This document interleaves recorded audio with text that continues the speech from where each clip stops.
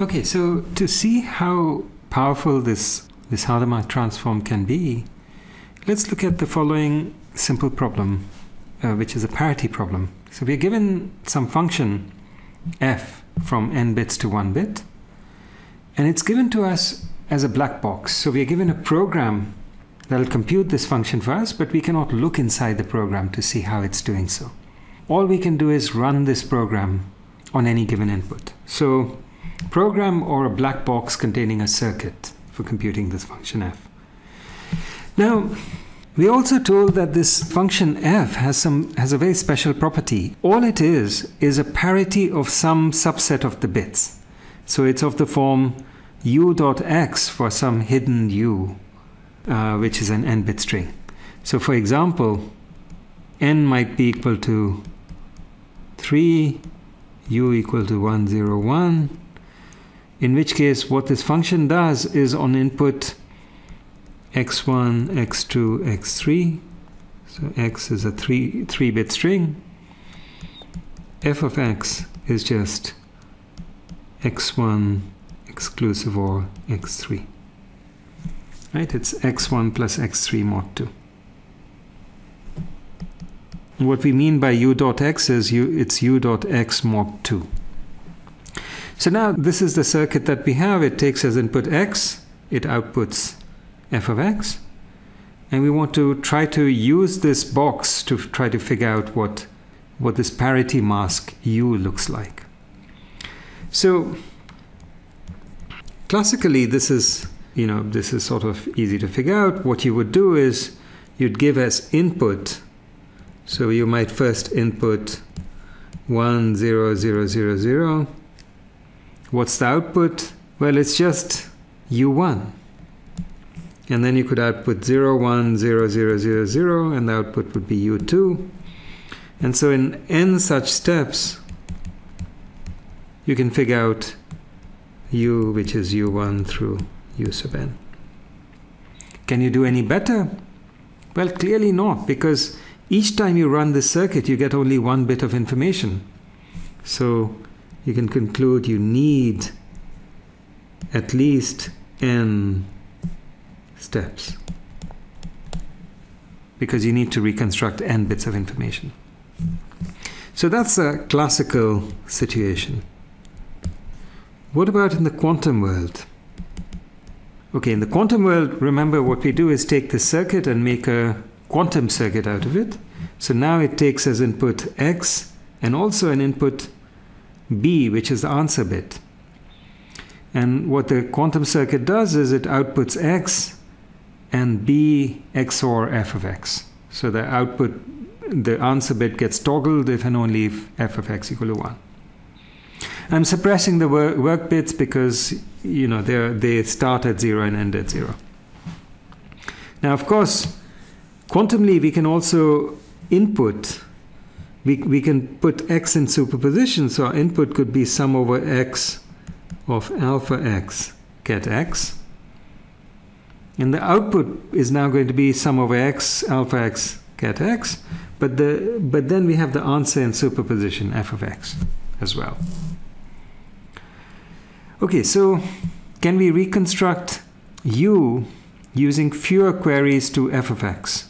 So we needed n such queries. In the classical case, can we do it in fewer queries? And it turns out the answer is yes. There's an algorithm that, that does this using as few as one query to, to the circuit for computing, computing f in the quantum case. And so the strange part here, the, the counterintuitive part here is that even though the circuit is outputting one bit, one bit of information, we seem to be getting n bits out of it. How does this algorithm work? So it works by first setting up a, a particular kind of superposition, which is a superposition over all n bit strings x of x with this with this phase minus one with a phase of minus one if and only if f of x equal to one. Okay, so this is this we'll call the phase state, and now what you do is you do Fourier sampling and you obtain u. So let me first explain why the second step works. You see, because, because f of x is just u dot x, So this superposition is just 1 over 2 to the n over 2 sum over all x minus 1 to the u dot x x. Now remember, what, what is this state? Well, this, is, this state is exactly what you get if you do the Hadamard transform on input u. So if that's, if that's your input, then this is what your output is.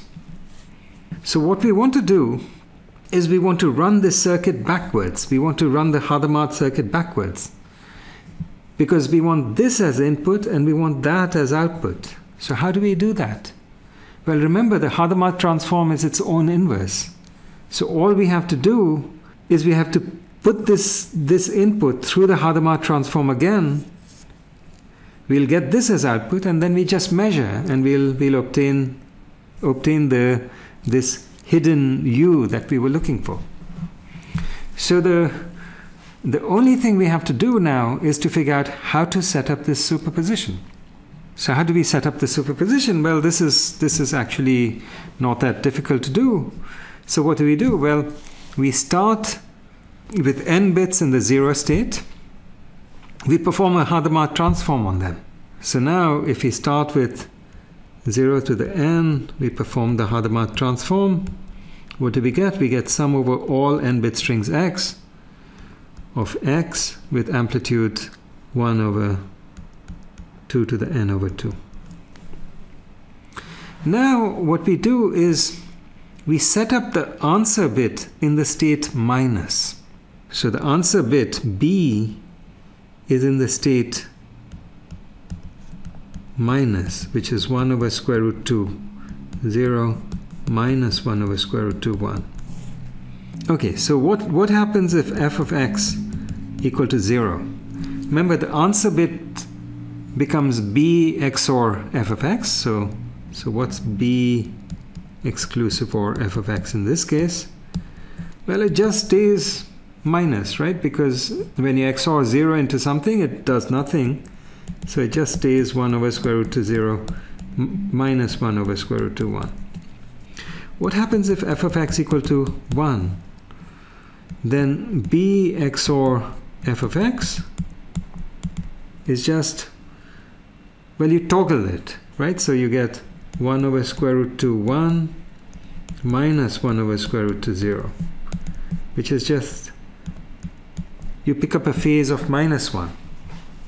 So that's what we are doing. We, we set up the answer bit as a minus, and then we are running the circuit for computing f. So remember, the input to the circuit is a superposition over all x.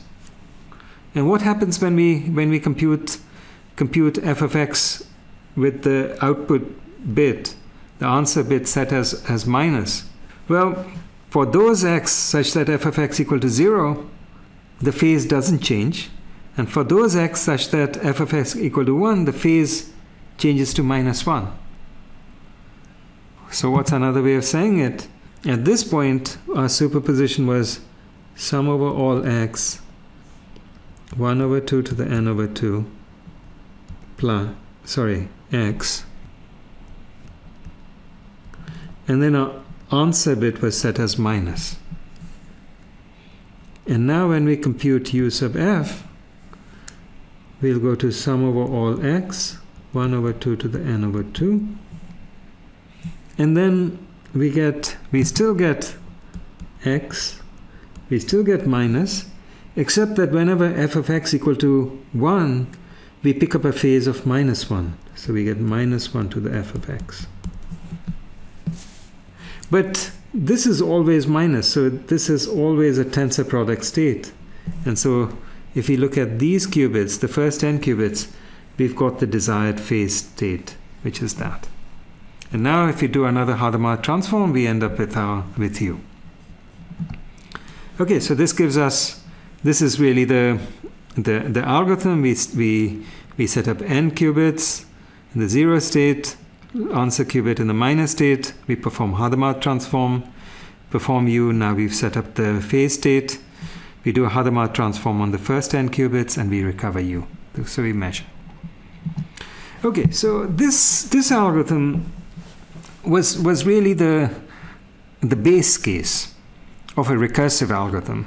You know, this recursive algorithm is called recursive Fourier sampling. I'll just give you a very short sketch of it, um, not really enough to explain it to you, but just tell you the, you know, the basic idea.